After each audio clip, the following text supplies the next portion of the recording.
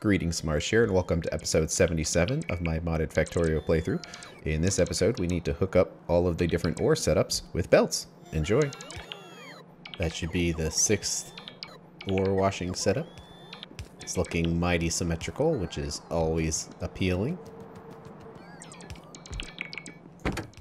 Took out lots of trees in the process. Let's let the robots finish their work and then I can pick up resources. Because I kind of put just about everything they could use in the truck. Let's go through here and try to configure everything. From a logistics point of view, it probably makes sense that this one right here is Crotinium. Because Crotinium mining is right here. But I kind of want it to go along the lines of the the menu here. Where it's Saphirite, Jivolite, Stiratite, Crotinium, Rubyte, Bobmonium. The mining that does happen here, if it happens here, could just be a belt that just gets run over where it needs to go. So the first one is Saphirite, which is set up correctly. So now we need to set the second one to Jivolite.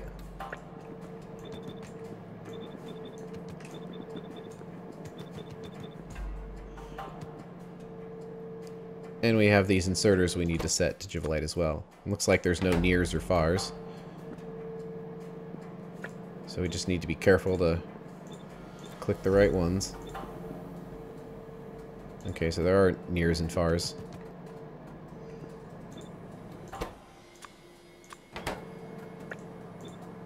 Okay.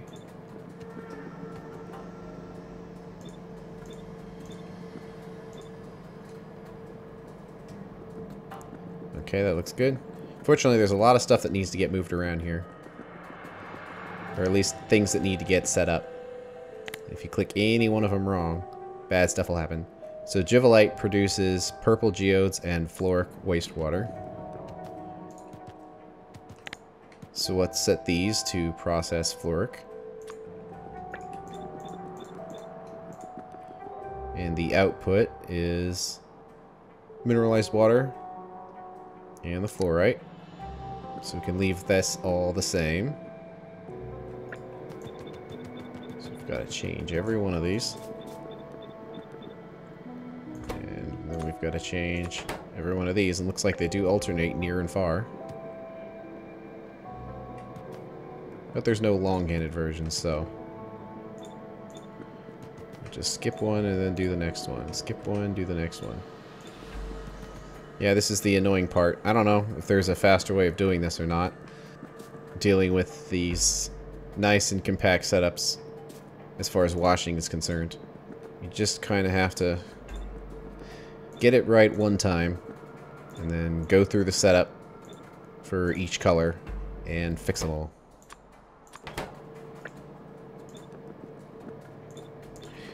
They're mechanically the same. It's just uh, the whole system works on filters, so I guess to make this work better, I'd have to set it up to where it didn't use any filter inserters at all. I don't know, I kind of like everything being clean on its own individual belt rather than having a giant mess of everything on everything and then using sorters later. Okay, and then we have the purple geode. Luckily, these are all the same.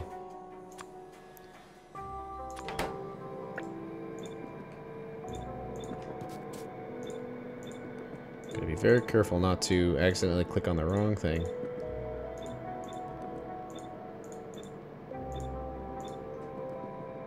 Okay. Colors changed. The water processing is changed. And the cresting is changed. But let's set this train station to Jivolite unload. We'll worry about the color at the end of it. Bobmonium. Looks like we are short on a few final resources here. It's actually not too bad. So the guesswork was pretty decent. Not not too much extra stuff got thrown in there. So we need 10 washers and 100 belts.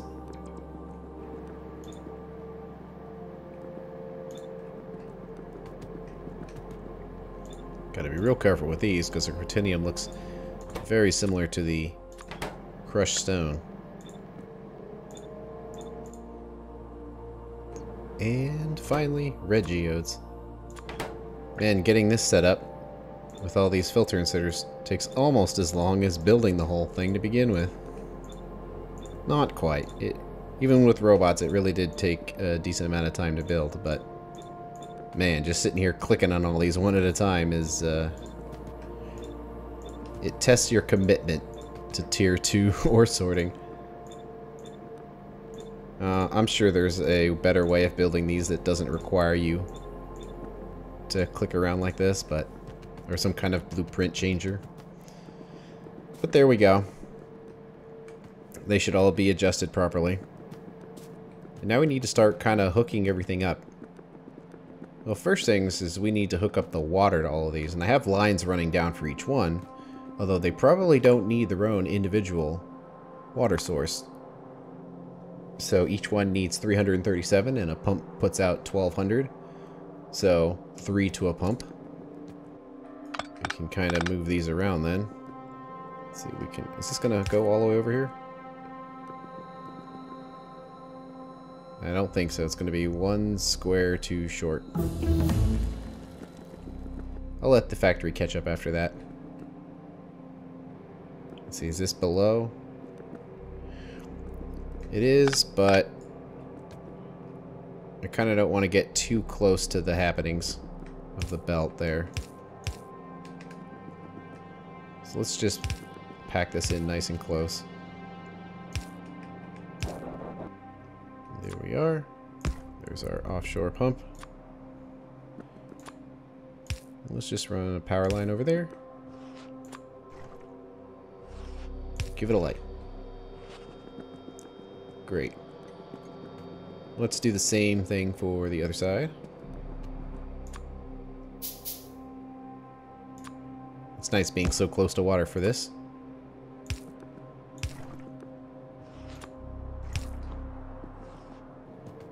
Okay, so we should have a nice supply of purified water building up for all the setups. Except saline water is not being dumped. Well, we have somewhere else in the factory to do that already. So I don't think we need to set it up here. We just need to connect them all together. And for a temporary basis, because we kind of want to test all these machines now, we'll just hook them up to a clarifier somewhere. But they should all be lined up with each other. See, that doesn't really reach all that well, going that direction.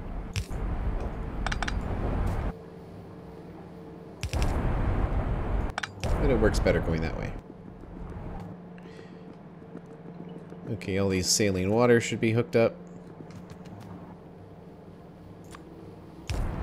Let's just build a temporary clarifier.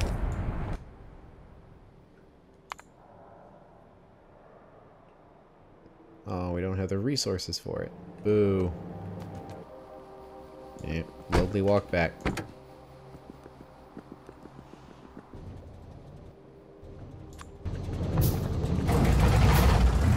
Even though it's nighttime, let's try to drive over there without killing ourselves. There's a lot less trees than there were before, so hopefully this won't be too dangerous.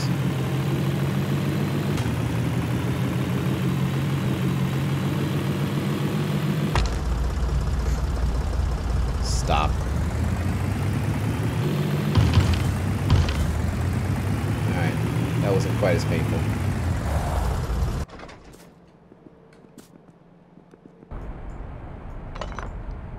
Okay, let's, uh... put a tank here. And then a clarifier. Just to get rid of all of it, because it's saline water and we don't care. This is just a temporary measure. Just so we can build up our purified water to test the process. There's no way that this is fast enough to catch up, but... Oh well. It should be enough for a test. I kind of only want to run one of these at a time. Just to make sure everything's good. Okay, so water's connected. We have some belt stitching to do here. So there's the output of the first line.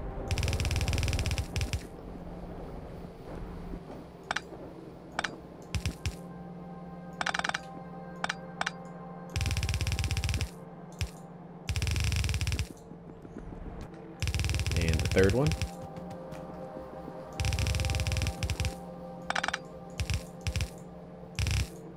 Fourth one.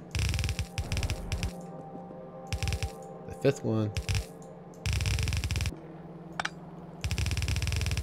And the sixth one. See how clean that ended up being? Of course, ran out of belts, but are there any left in the truck? Nope. What about this one? Nope. And logistic spots would be nice to keep the inventory stocked, but it's a little too soon for that.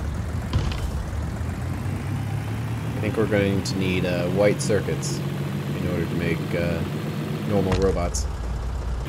Eventually, there's just not going to be any trees in the way if we run into all of them.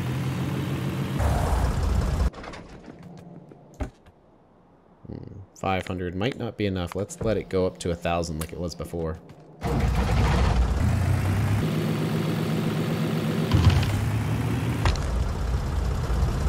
It's these rocks that really stop you. The trees don't stop you, but the rocks do.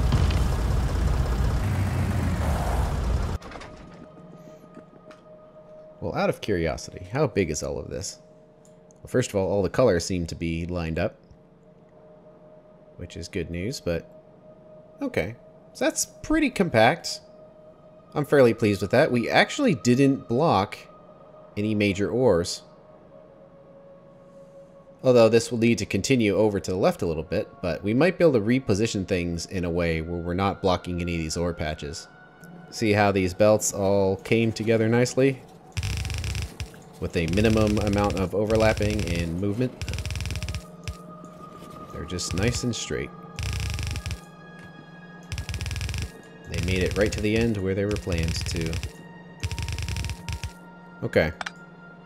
Well, we need to put something on the end of this in order to test it. Let's see, I've got some storehouses, but can I build a warehouse? A very small amount of them, but let's go for it. It is the exact size it needs to be. So we put that there with our six inputs. It kind of looks weird on the top, but they're all connected. So that's where all the crushed stone will go. Now, it'll go somewhere else. This is only temporary. We just need somewhere to put it so we can test the system. But they'll actually go to either a train to get moved somewhere else or directly processed in the vicinity. That's, uh, that's another task for another day, unfortunately. We just have to take this one step at a time and... Oh, it's missing a pipe there. And it will all come together uh, when it's all together. But until that point, we just have to kind of take it one step at a time and uh, just kind of pay attention to it. Well, we have one line, one line, and one line here. I'm kind of worried that it's uh, five units and not six because of the way the inserters work on near side and far side, but I actually think it'll work okay.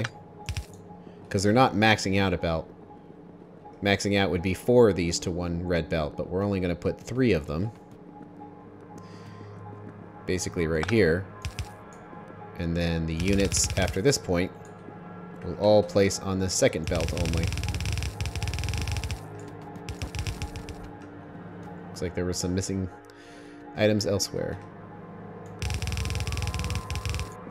Kind of has me worried that the inventory is not completely full of items here for every item type because I put them into the truck. So, kind of want to grab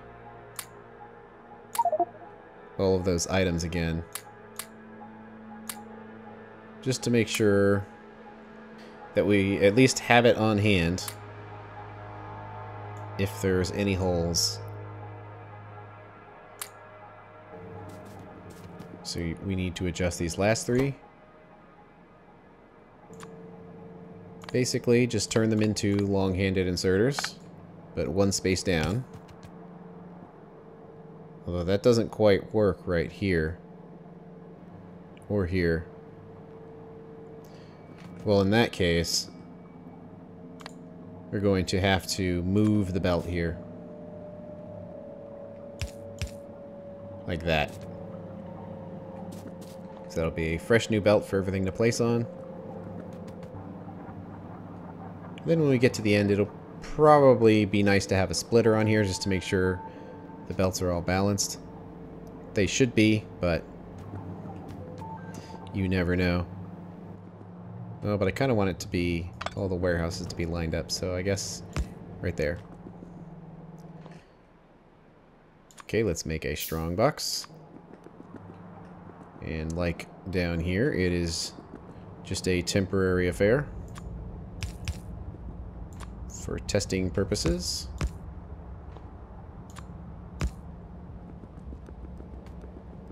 So those are stitched together. Now this is all good, so now we need to do the final side up here. Okay, let's do geodes. So the first three set of machines. Hook up to the bottom one here. Or to the top one.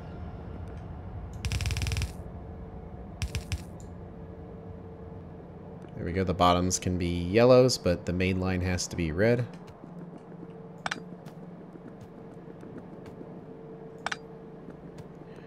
So that's one, two,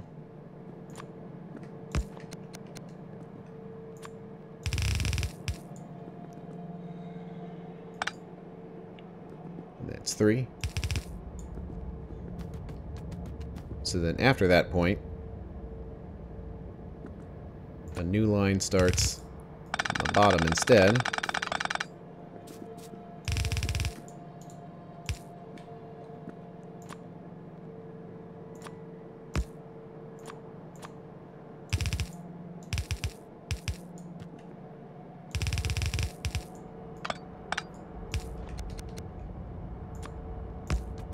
There's the last one. So there's that one, and this one can just be connected all the way down.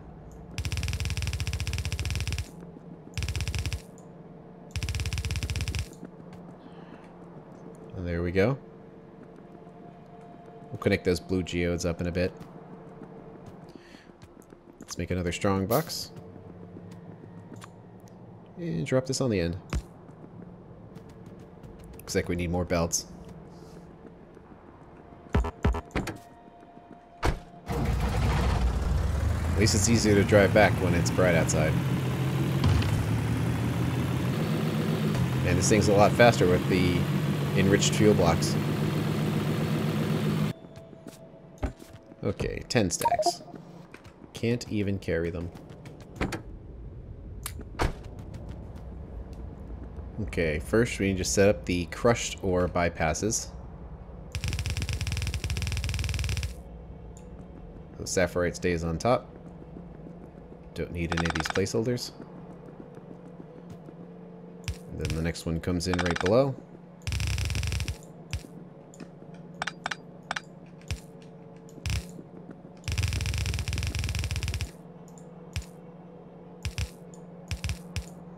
And the next one below that.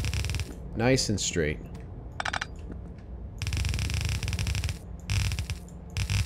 Yeah, so much easier to place belts now.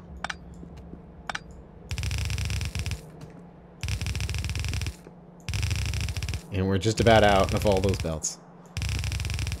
I guess there's some more in the truck, but still. With the new belt placing system, you can just go through them so quickly without really thinking about it. How much easier it is to do. But there's all the crushed ore. And these are the bypasses, which are going to the ore sorters. Oh, and let's give it a warehouse.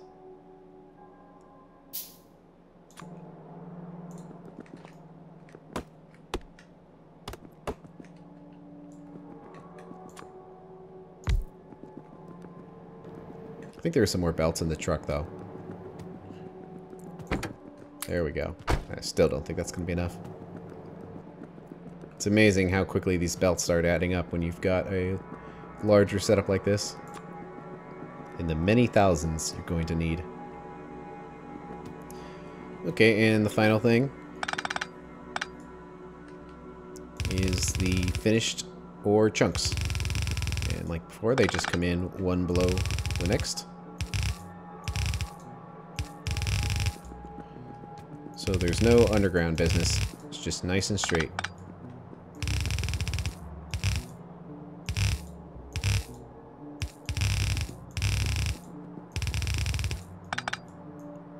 I admit this is uh, pretty satisfying seeing all the belts after all that planning. Just come in nice and straight without any fuss.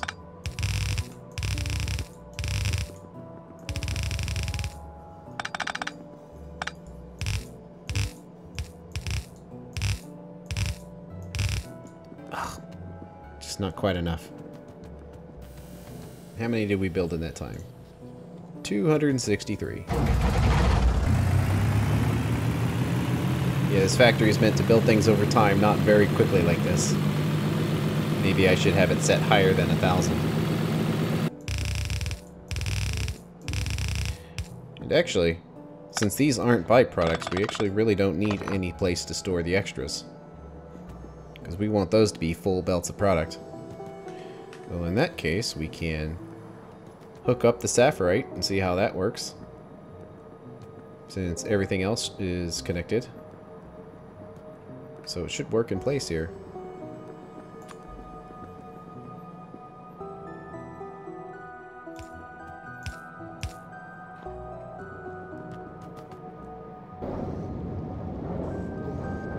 Seems pretty good.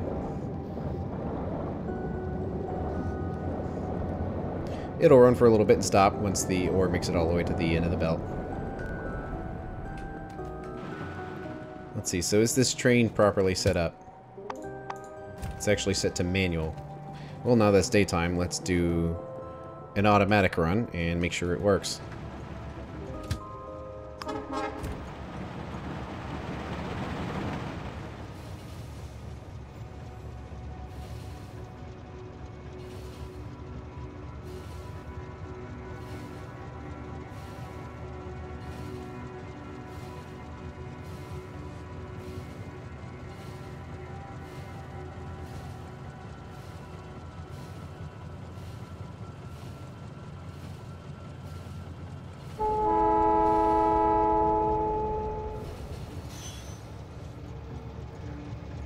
Seems like it. Might as well take the car back. I'm never going to come down here and get it.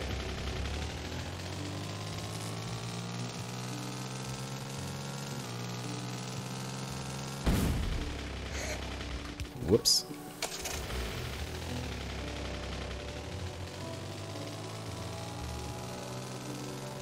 Hovercraft. Splash, splash. There actually is a hovercraft mod you can get that works well with this uh, shallow water swimming that the Canals mod adds. Okay, looks like the belts have uh, quieted down. The byproducts have made their way to the storage areas. And our full belt of saphirite products is static and in place. And that's the end of this episode. On the next one, we need to bring fuel in for the trains, and then get some crotinium in here as well. See you later.